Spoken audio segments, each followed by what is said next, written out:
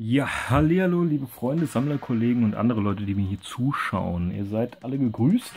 Ja, ich habe es mal wieder geschafft. Ich habe die 30 äh, Artikelmarke geknackt. Nicht nur 20, nein, weit über 30. Ähm, ja, ist einem Jahresflohmarkt geschuldet. Zwei Kleinigkeiten habe ich so noch über Ebay Kleinanzeigen geschossen kriegt. Ähm, aber diesmal kann ich nicht wirklich viel lange vorher labern. Ich muss anfangen, sonst wird das Video wieder mal zu lang. Ja, äh, eine Sache, die ich über eBay Kleinanzeigen geschossen habe, war Jade Cocoon. Ja, das Ganze diesmal in der Black Label. Ich habe die, äh, ich glaube Ubisoft Exclusive müsste das sein. Ähm, aber jetzt habe ich die hier und gekostet hat mich das Ganze 5 Euro und dafür dachte ich mir, ist das ein sehr, sehr guter Kurs. Meine Ubisoft Exclusive wird jetzt gehen. Dann hätten wir noch einen Kleinanzeigenfund und zwar ist das Metal Slug Anthology für die PS2. Ja, ist sehr, sehr geil. Ich habe es für die PSP. Ich glaube, die einzige Version, die mir jetzt hier noch fehlt, ist die für die Wii. Ähm, ja, ist ein sehr, sehr schönes Stück Software. Da sind äh, extrem viele Spiele drauf. Metal Slug, Metal Slug 2, Metal Slug X, 3, 4, 5, 5, 6 und äh, 6 ist sogar, glaube ich, exklusiv hier auf dieser äh, Anthology drauf. Ja, ähm, zu äh, in einem sehr, sehr schönen Zustand und für, lasst mich lügen, ich glaube 7 Euro. Fand ich in Ordnung. Inklusive Versand 7 Euro. Kann man so stehen lassen. Ja, und dann kommen wir auch schon zu dem Jahresflohmarkt und da habe ich hier eine ganze Menge Zeug rumfliegen. Ja, ich will nicht so extrem lang. Ich habe es nicht chronologisch geordnet, also wie ich es an dem Tag gefunden habe. Ich äh, fange einfach mal an. Und zwar recht am Anfang habe ich äh, ein paar PS1-Spiele gefunden. Und zwar war dabei Resident Evil. Leider haben die alle Macken, sind nicht mehr ganz so toll. Und hier ist jetzt die Anleitung die Disc in passablem Zustand. Leider fehlt das Deckcover. Ist aber gar nicht schlimm, kriegt eine neue Hülle verpasst und dann ist es eigentlich auch wieder ganz in Ordnung. Für jemanden, der nicht ganz so äh, viel Wert auf Vollständigkeit legt, ist es definitiv in Ordnung. Das gab's. Dann gab es noch äh, MDK, das müsste Murder Death Kill heißen. Ähm, da fehlte leider die Anleitung, aber gut, ich habe es eigentlich nur mitgenommen, weil ich das äh, Ganze bundeln konnte. Und dann hätten wir hier noch ein Dino Crisis und da ist zwar ein Riss in der Hülle, aber der Rest ist komplett und eigentlich ziemlich schick, schick muss man sagen. Ja, die drei zusammen 5 Euro. War super. Wollte ursprünglich 2 Euro den Titel haben und da habe ich dann noch 5 noch runtergehandelt und das passt. Dann ging es weiter mit, dann nehmen wir das hier habe ich gefunden Tenchu, Time of the Assassins äh, für die PSP. Habe ich so noch nie gesehen vorher. Ähm, habe ich auch, Moment, lasst mich lügen, ich glaube 4 Euro für bezahlt. Für 4 Euro war es okay, er hatte mit 7 gestartet und habe ich gesagt, na, ich nehme normalerweise PSP-Titel über 3 Euro nicht mit. Äh, dann habe ich gesagt, na komm, dann machen wir 4 und dann ist gut. Ähm, aber mit dem Menschen habe ich auch Nummern ausgetauscht, weil er meinte, er hätte früher mal extrem viel gesammelt und er hat noch viel, viel daheim und äh, vielleicht gibt es ja mal was. Wer weiß. Und der hat mich dann auch noch an einen Kumpel von ihm verwiesen. Also ich, äh, Tenshu, für die Sammlung. Äh, ja, an einen von seinen Kumpels verwiesen, der direkt den Stand nebenan hatte. Äh, weil der hatte NES-Spiele. Ja, und bei dem habe ich mitgenommen. Da, ich kann mal sehen. Soulstice mit Anleitung sowie The Guardian Legend. Ja. Ähm, wollte er ursprünglich 15 haben für beide. Ich habe bezahlt 12, also 6 pro Titel. Mit Schuber, hier noch die Anleitung dabei. Fand ich in Ordnung und äh, für 6 Euro, denke ich mal, kann man die mitnehmen. Auch mit dem habe ich äh, geredet und äh, auch noch, ja, man ist so ein bisschen ins Labern gekommen und der wird dann auch auf der Retro-Börse, die oder auf der Video- und Konsolenbörse, die hier demnächst ist, wird er wahrscheinlich auch mal auftauchen. Und äh, ja, vielleicht kann man ja da noch das ein oder andere Geschäft machen. Das wäre mal cool. Ja, dann geht es weiter. Habe ich mir. Ah, ich glaube, ich mache hier weiter. Ja, habe ich auf einem Tisch folgendes liegen sehen und zwar einen Sega Game Gear. Der sieht noch ziemlich gut aus. Also die hier, außer den paar Datschen, seht ihr schon, da ist eigentlich kaum Kratzer drauf. Ähm, hier war noch so ein äh, Tesafilm drauf. Naja, gut. Aber hier, das sieht eigentlich noch ziemlich gut aus. Ich weiß nicht genau, was dieses Pinökel hier soll, aber der TV-Tuner, der ist noch auch noch super. Da ist hier vorne sogar noch die Folie drauf.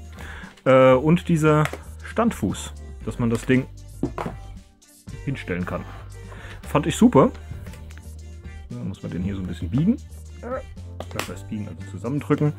Ja, hat noch beide Batteriedeckel. Sieht so alles in allem ziemlich gut aus. Und er konnte mir aber nicht sagen, ob das Ding noch funktioniert, weil er hatte keine Batterien dabei und auch kein Ladegerät. Und ähm, ja, hab so, ah, hab ich gesagt, ja komm, ich habe noch, äh, noch zwei daheim, die ich reparieren muss. Und tendenziell sind die Dinge eigentlich immer kaputt. Und ähm, bin dann auf noch mehr aufmerksam geworden an seinem Stand. Und zwar, Moment, auf den hier. Ja, ich habe schon wieder einen Gameboy gefunden. Und der hier ist komplett frei von irgendwelchen toten Pixeln, Lines oder sonst irgendwas. Und drin war Super Mario World 2. Ähm, könnt ihr auch hier noch sehen. Mit Batterien. Schön im Zustand. Hier die Kappe, die war auch da. Die habe ich nur jetzt in einen anderen, auf einen anderen drauf, wo sie gefehlt hat.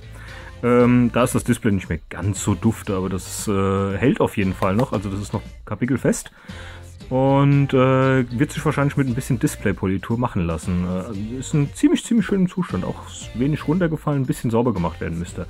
Ja, und äh, er wollte Erst dafür 25 Euro und dafür 15. Äh, hier hatten wir ja dann schon ein bisschen lamentiert und gemacht und getan und verhandelt und hast du nicht gesehen. Und letzten Endes sind wir dabei rausgekommen, dass er gesagt hat, ach weißt du was, nimm sie beide mit für 22 Euro. 22 Euro ist ein super Deal, sage ich jetzt mal, äh, für so einen gut erhaltenen Gameboy und einen super erhaltenen Game Gear. Und da sage ich, ja gut, komm, super, packe ich ein. Und äh, als ich dann die zwei Sachen eingepackt habe, hat er gemeint, ach hier, weißt du was, komm, nimm die Spiele noch mit, ich brauche sie eh nicht mehr. Ja, und äh, bevor ich mich schlagen lasse, dabei war noch Tetris, Dragon Crystal, Wonder Boy, Castle of Illusion oder Castle of Illusion und Columns. Ja, sind jetzt nicht die Burner-Titel, aber für Umme kann man das so mitnehmen. Das komplette Set 22 Euro. Ich glaube, das war mit der Deal des Tages. Ja, dann ging es weiter. Und da habe ich... Ah, das war sogar der erste Fund des Tages. Ich habe es einfach ins Blaue mit, mitgenommen. Das war Lands of Lore, Götterdämmerung. Ihr seht schon, hier ist noch der Originalpreisaufkleber von 69,95, 69 Mark 95 drauf. Und äh, hier hat er 3 Euro, da oben 3 Euro drauf gebapscht. Ja, das Ding ist komplett mit dieser Doppel-, Dreifach-, Vierfach-Hülle. Anleitung. Und äh, da wollte er 3 Euro für, äh, für und da habe ich gesagt, ach komm, schmeiß das mit drauf, weil ich es nicht kannte, Carnage Hard. Äh, und ja, habe mir gedacht, komm, zockst es mal an. Die Disk ist noch in Ordnung, der Rest ist halt eben nicht mehr so tolle. Aber eigentlich habe ich das Ding mitgenommen, weil die Hülle hier, das ist so eine, diese besondere Hülle, eine der ersten. Äh, und mir ist doch die von Micro Machines kaputt gegangen. Und äh, die wird wahrscheinlich die von Micro Machines ersetzen. Ja, hat er so mit reingeschmissen. 3 Euro, die zwei Sachen. Wunderbar. So, ihr merkt schon, ich äh, lege ein bisschen Tempo vor heute. Geht nicht anders. Ja, dann habe ich an einem anderen Stand gefunden. Und zwar ein F1 Race. Nicht der tollste Titel, aber in Originalverpackung, die sehr, sehr gut aussieht. Ich weiß nicht, ob ihr das sehen könnt. Die ist eigentlich, ja, die hat ein paar Macken natürlich. Dem Alter bedingt, äh, aber ich glaube, da ist auch ein bisschen was bei mir im Rucksack passiert, leider. Ähm, ja, und das Ding ist so komplett. Da ist sogar noch hier das Tütchen verklebt F1 Race oder für Spieleadapter die Anleitung drin, das Spiel selbst und der Adapter noch eingepackt. Also viel besser geht's gar nicht mehr und das konnte ich nicht liegen lassen. Dafür wollte er ursprünglich 5 Euro. Und da habe ich gesagt, weißt du was? Schmeiß das mit drauf. Kann man das erkennen? Moment. Schmeiß das hier mit drauf und wir haben einen Deal. Und da sagt er, ah, ich wollte eigentlich pro Stück 5 Euro haben. Ähm, machen wir sechs. Dann habe ich gesagt, ja gut, wunderbar. Drei Euro pro Stück und Nemesis ist ein Shooter. Äh, die Dinge gehen eigentlich immer. Wunderbar. Ja, 6 Euro für das Zeug hier. So, das müssen wir so ein bisschen anders beiseite legen, sonst geht's kaputt. Dann ging es. Oh je, womit mache ich jetzt weiter? Ja komm, wo wir gerade bei PC-Spielen waren eben. Ich habe ein Technomage gefunden. Die Rückkehr der Ewigkeit von Sunflowers in der Big Box für den PC. Mit Disk und Anleitung für 50 Cent. Das wird wieder gehen. Das ist nicht so mein Genre eigentlich, aber für 50 Cent konnte ich es nicht liegen lassen. Mit einer schönen Hülle, die echt noch top aussieht und ja, deshalb durfte das mit. An einem anderen Stand habe ich für 5 Euro Infamous 2 gekauft. Schöner Zustand, alles drin. Äh, das einzige PS3-Spiel des Tages. Äh, ich habe vor kurzem den ersten Teil gekauft und habe jetzt gedacht, komm, den zweiten legst du dir auch noch zu. 7 wollte er haben, 5 hat er von mir gekriegt und damit war das Geschäft besiegelt. Ja, dann, dann, dann, dann, dann, noch einen Titel, den ich recht früh am Anfang bekommen habe. Und zwar Zurück in die Zukunft, das Spiel für die Wii. Ich liebe Zurück in die Zukunft. ich habe das äh, für 7 Euro mitgenommen. Das ist eigentlich mehr, als ich normalerweise gewillt bin, für ein Wii-Spiel zu bezahlen. Es sei denn, es ist ein Top-Titel. Ähm, ich weiß nicht, ob es ein Top-Titel ist oder nicht, oder ob er Schrott ist, aber ich musste, ups, ich musste es haben. Äh, 12, nee, 10 wollte sie ursprünglich haben, die Dame, und auf 7 habe ich sie runtergehandelt und da habe ich dann gesagt, komm, nein, jetzt nimmst du es mit. Wer weiß, ob du es nochmal in die Finger kriegst. Dann, dann, dann, dann, dann, habe ich einen Controller gefunden. Ja, sieht aus wie ein äh, klassischer Xbox-Controller. Ja, jetzt mal hier, Fokus, genau. Sah auf den ersten Blick aus wie ein klassischer Xbox-Controller, ist aber hier, habe ich dann erst später entdeckt, 1, 2, 3, 4. und es scheint ein PC-Controller zu sein. Naja gut. Äh, habe das Ding für 2 Euro mitgenommen und äh, irgendwie habe ich absolut nicht drauf geachtet. Ich habe das Ding einfach nur geschnappt. Was kostet? 2 Euro, gut, nehme ich mit. Ähm, naja gut, vielleicht habe ich jetzt einen ordentlichen PC-Controller. Schadet ja auch mal nichts. Hm. Das war aber auch der einzige Fehlgriff des Tages, muss ich sagen. Dann, dann, dann, dann, dann, dann. War ein bisschen spät am Tag, sage ich jetzt mal habe ich äh, einen ganzen Stapel PS2-Spiele gesehen und da waren viele, viele SingStar-Spiele und äh, da war schon wieder ein SingStar-Schlager. ja, und äh, da, direkt daneben lag Paper Mario Sticker Star. So, ich habe für beide zusammen, äh, für das hier wollte sie ursprünglich 10 haben und für das hier 5. Glaube ich zumindest. Äh, ist aber auch egal. Letzten Endes habe ich für beide zusammen, ich glaube, 11 Euro bezahlt. 11 oder 12 Euro. Ähm, das hier wird definitiv wieder gehen. Ähm, und damit habe ich das hier für Oma. Ja, wunderbar. So kann das immer laufen. Hm. Dann habe ich einen Titel gefunden, der eins aus meiner Sammlung ersetzen wird. Ein PS2-Titel, Burnout 2 Point of Impact. Ja, da ist äh, noch ein Adressaufkleber drauf. Was hat, hat scheinbar irgendwann mal irgendjemand anders gehört. Ja, natürlich, ich habe es heute von jemandem gekauft. Ähm, ja, Burnout, brauche ich nicht viel zu sagen, habe ich schon oft genug den Mund fusselig drüber gebabbelt. Ähm, ich bin mir gerade unsicher, ob ich den zweiten Teil überhaupt jemals hatte. Ähm, ja, für 2 Euro mitgenommen, da konnte ich nicht Nein sagen. Dann noch ein sehr, sehr schönes Geschäft für diesen Tag. Und zwar habe ich an dem Stand von einem Mann gestanden, der ein 3DS verkaufen wollte für 160 Öcken, also ein 3DS XL. Äh, jo, ist halt ein sehr, sehr stolzer Preis, aber er hatte auch wirklich ungelogen so einen Stapel Spiele da noch. Und also auf meine Frage hin, ja, was kosten denn die Spiele, sagte er Mario 15 und der Rest 10. Ja, und ich gucke so durch und es waren wirklich ein paar schöne Spiele dabei. Und ähm, ja, der war eigentlich der Kracher. Ich habe dann mit ihm geredet und habe gesagt, hm, na, normalerweise nehme ich Spiele maximal äh, DS-Spiele maximal für einen Fünfer mit. Und dann meinte er, ah ja gut, komm, mal einen Fünfer. Für zwei. Haben wir gesagt, äh, 10 äh, für, für zwei Stück 10 Euro.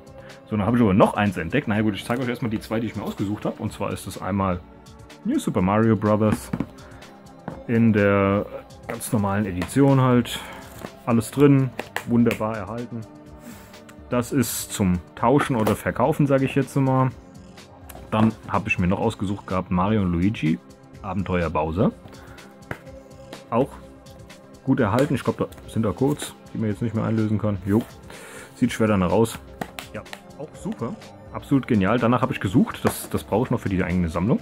Ja, und dafür 10 Euro wäre schon der absolute Kracher gewesen. Da habe ich gesagt, ey, ich habe dann noch eins entdeckt und habe gesagt, können wir drei für 15 machen? Und da sagte er, ja, ja, natürlich. Und dann habe ich mir noch Pflanzen gegen Zombies mitgenommen. Komplett, alles drin, wunderbar. Ja, die drei Stück für 15 Euro ist, denke ich mal, ein ziemlich, ziemlich guter Deal. Dann kommen wir zu ein paar unspektakuläreren Sachen. Und zwar habe ich einen PS2-Controller mir aus einer Kiste gefischt. Ja, PS2-Controller nehme ich eigentlich fast immer mit, wenn ich, wenn ich sie irgendwo günstig sehe. Der hier hat schon bessere Zeiten gesehen, der ist scheinbar mal ein bisschen aufgeditscht worden. Ich werde mal testen. Äh, letzten Endes hat es dann das Set gemacht, was ich bei der Frau mitgenommen habe. Und zwar hatte sie in der Krabbelkiste noch zwei Ladegeräte. Und zwar eins für den Nintendo DS und eins für den DSi XL, was auch immer. Also einmal das hellgraue und einmal das dunkelgraue. Sind ja zwei unterschiedliche. Ja, und zusammen habe ich bezahlt 5 Euro für die drei Sachen. Und da konnte ich nicht Nein sagen. Allein die Ladegeräte äh, sind da mehr wert. Ähm, weiter im Text. Dann habe ich bei einem Händler, bei dem ich normalerweise sehr, sehr selten was kaufe, außer vielleicht mal ein, zwei Gameboy-Spiele, die ihm so durch die Lappen gehen, sage ich jetzt mal, also die so unter seinem Radar laufen. Und er hatte so diesen schönen Gameboy-Koffer, diesen alten, der aussieht wie ein Gameboy, den ich auch in der Sammlung habe. Und da drin lag doch tatsächlich eine lose Gameboy Pocket Hülle. Ja, das äh, konnte ich auch nicht stehen lassen, weil er meinte, gib mir 4 Euro dafür. Und ich habe ihn noch auf 3 runtergehandelt und dafür so eine Crystal-Hülle, die auch noch sehr, sehr schön aussieht, also die ist wirklich super, ähm, konnte ich dafür nicht liegen lassen. So, da war eine ganz kleine Unterbrechung. Ähm, machen wir einfach weiter. Dann habe ich gefunden noch einen PS2-Controller für, ich habe keine Ahnung, ich glaube 2 Euro ging der auch noch mit. Ähm, ja, dann neigen wir uns dem Ende zu. Äh, wir haben noch einige Artikel, aber zumindest was Spiele angeht, neigen wir uns dem Ende zu. Dann habe ich an einem Stand, der eigentlich keinerlei Videospiele hatte, den Kollegen hier gefunden. Das ist ein Zombie. Ja, und äh, der wäre mir eigentlich gar nicht wirklich aufgefallen, wenn direkt daneben nicht sie hier gelegen hätte. Und daneben der hier. Also ihr seht schon die Größenverhältnisse. Der passt nicht so ganz aufs Bild. Ja, und wenn man mal hier unten genauer hinguckt, weiß nicht, kann man das sehen? Fokus. Moment. Geht natürlich mal wieder nicht. Ist zu nah. Das will hier nicht. Moment, meine Handykamera mag das nicht. Kann man das sehen? Vielleicht ganz kurz. Nee. Also auf gut Deutsch, da steht Capcom. Bei allen dreien. Und das scheinen mir die originalen Merchandising-Figuren von Capcom zu sein, ja. Äh, er hatte noch zwei andere. Einen mal so ein Zombie, der so aufsteht auf Knopfdruck und äh, noch so ein Riesenmonster. Und da habe ich gefragt, was soll denn Krempel denn kosten? Naja, alle zusammen 35 Euro. Da habe ich gesagt, ah, 35 Euro hatte ich zu dem Zeitpunkt nicht mehr. Äh, sagt er 30. Habe ich gesagt, habe ich auch nicht mehr. Ja, aber günstiger konnte es mir nicht geben. Und letzten Endes sind wir dann dabei rausgekommen, dass ich die drei hier, also den Riesenklotz da weggelassen habe. Der war sowieso rackhässlich. Gut, die sind jetzt auch nicht wirklich hübsch. der, der hat mir nicht gefallen, war mit Wechselkopf und sonst was. Und äh, habe dann für die hier das Stück 4 Euro bezahlt. Also 12 Euro für die drei Kollegen hier. Und äh, dafür stelle ich sie mir ins Regal. Wie immer, wie immer Deko. Sehr, sehr hübsch. Äh, das war einer der tollsten Funde des Tages für mich. Also richtig, richtig schön. Ja, dann, dann, dann, dann, dann, dann hätten wir doch, ja, vielleicht. Na, nehmen wir das. Ja, bin ich äh, an einem Stand, an dem ich schon dreimal vorbeigelaufen bin, wo ich auch schon dreimal geguckt hatte, bin ich noch drüber gestolpert. Äh, entweder sie haben das hinterher auf, auf den Tisch gelegt, weil sie es vorher vergessen hatten oder sonst irgendwas. Ähm, auf jeden Fall ist das ein Tekken 3 komplett in schönem Zustand, bis auf die Hülle, die hat hier oben leichten Hau, ähm, für 2 Euro. Und dafür kann man Tekken 3 in der Black Label definitiv mitnehmen.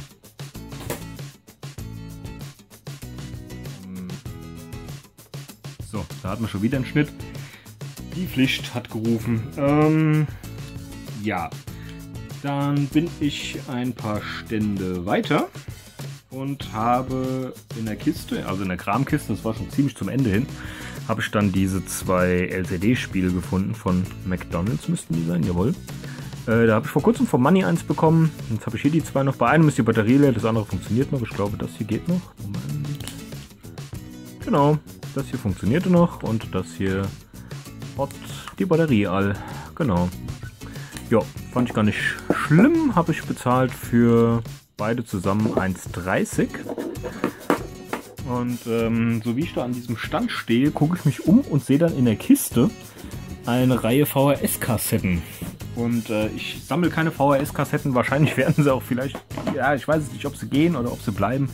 Aber ich fand die Dinge so geil, dass ich die haben musste. Ähm, das hat äh, auf einen Schlag Kindheitserinnerungen geweckt. Äh, frage nicht nach gleichen. Ähm, ja, und zwar war das die Jagd beginnt. Die echten Ghostbusters. Die Ghostbusters retten Amerika. Absolut geil. Äh, Nummer 1, scheinbar eine Serie gewesen. Also zumindest, wenn ich euch jetzt die nächsten zeige. Äh, in sehr, sehr schönem Zustand. BASF-Kassetten. Hier, die, die Hüllen sehen noch richtig gut aus. Es sind tatsächlich Originale. Na, der Herr, der die äh, verkauft hat, hat mir sogar angeboten, äh, dass ich sie von ihm auch auf DVD bekommen könnte, weil er die alle digitalisiert hat. Und äh, da war die dabei. Dann war dabei die Nummer 2. Gefährliche Aufträge für die Ghostbusters. Dann war dabei die Nummer 3. Ein Ghostbuster in höchster Gefahr. Und noch eine vierte, und zwar die Nummer 7 diesmal. Siegeszug der Geisterjäger. Ja, fand ich absolut geil. Sind auch überall die drin, die draufstehen. Ich weiß nicht, was das für eine Serie war. Äh, ob die Dinge so in irgendwelchen Zeitschriften rausgekommen sind oder sonst irgendwas, aber ich fand die super. Ja, da sind pro VHS sind da zwei Filme drauf oder zwei äh, Serienfolgen. Äh, fand ich absolut genial. Bezahlt habe ich für die Dinge einen Euro das Stück, also 4 Euro für alle vier zusammen. Ich habe sie noch nie irgendwo gesehen und dafür musste ich sie einfach mitnehmen. Absolut toll. Und ähm, habe mich da mit dem, mit dem Mann noch unterhalten. Ich nehme jetzt absichtlich nur die ersten drei da weg. Und äh, da meinte er, ja, er hat noch so ein Ecto 1 daheim, den er aber nicht loswerden will, aber da wären Poster dabei gewesen, weil ich hab, fand dieses Cover hier extrem toll. Guckt euch das mal an. Äh, wie gesagt, das Cover fand ich super und er meinte, er, bei dem Ecto 1 wäre so ein Poster davon dabei gewesen. Er wollte sich bei mir melden. Vielleicht will er das Poster loswerden und äh, wenn ich davon ein Poster kriegen könnte, das, ähm, egal ob Videospiele relevant oder nicht, das kommt hier in den Raum. Da könnt ihr davon ausgehen. Absolut schön. Toll gezeichnet. Und das wäre es mir. Also ich glaube, da würde ich sogar 5 Euro für ein, für ein blödes Poster bezahlen. Ja, das war noch so ein kleines Highlight kurz vorm Schluss. Ähm, dann mache ich mit dem letzten Videospielrelevanten weiter. Und zwar kam noch ein Gameboy-Spieleberater für Pokémon Gelb, Rot und Blau. Gucken, ob die Aufkleber noch drin sind. Ach ja. Tatsächlich. Alle Aufkleber noch drin. Alle 151. Ne, 150 sogar noch. Ähm, kein einziger aufgeklebt. Das ist ja schön. Ja, und äh, für den habe ich bezahlt einen Euro. Fand ich super. Und dann geht es jetzt noch, also für alle, die es nicht interessiert, geht es jetzt eigentlich nur noch mit Filmen weiter und eine Musik-CD. Ich habe für den lieben Mivo einen Pokémon Heroes Film mitgenommen. Für 2,50. Einmal The Expendables 3 für 2 Euro. Dann noch für meine Töchter. Einmal Ariel und Ariel 2 haben mich jeweils nochmal 2 Euro gekostet. Und naja, ich habe ja schon mal gesagt, Disney-Filme kann man eigentlich immer mitnehmen. Und dann noch eine CD, die so, die ich so gar nicht kannte, aber so, ich, ich weiß gar nicht, obskur war, interessant war, dass ich sie mitnehmen musste. Und zwar ist das Compact Disc Maxi Single Nintendo Game Boy Tetris Dr. Spin noch nie von gehört. Wirklich noch nie. Es ist ein offizielles, äh, offiziell lizenziertes Nintendo-Produkt. Äh, und ist von 1992 das Ding. Ich kannte das nicht. Das war mir gänzlich unbekannt. Habe ich für 50 Cent mitgenommen und für einen guten Kumpel noch eine äh, noch ein Disc, also mit einer Maxi-Disc mit einem Captain Future Cover. War auch sehr, sehr geil und weil er mich mitgenommen hat, hat er die von mir geschenkt bekommen, weil er Captain Future Fan ist und ähm, ja. Ja, das war so das äh, tatsächlich der, das letzte Produkt, was ich an dem Tag gekauft habe und äh, auch so ich sag mal, ein kleines Highlight, weil äh, total unerwartet, dass sowas kommt, weil man es halt eben absolut nicht kennt. Ja, das war's für heute. Äh, 25 Minuten, mein Herr, das ist eine ganze Hausnummer. Ähm, ich hoffe, das Video hat euch gefallen. Es ist tatsächlich mal wieder ein bisschen zu lang geworden eigentlich. Ähm, sagt mir mal, was ihr von meinen Funden haltet und äh, schön brav kommentieren. Und wir sehen uns das nächste Mal, würde ich sagen. Bis die Tage. Tschüss.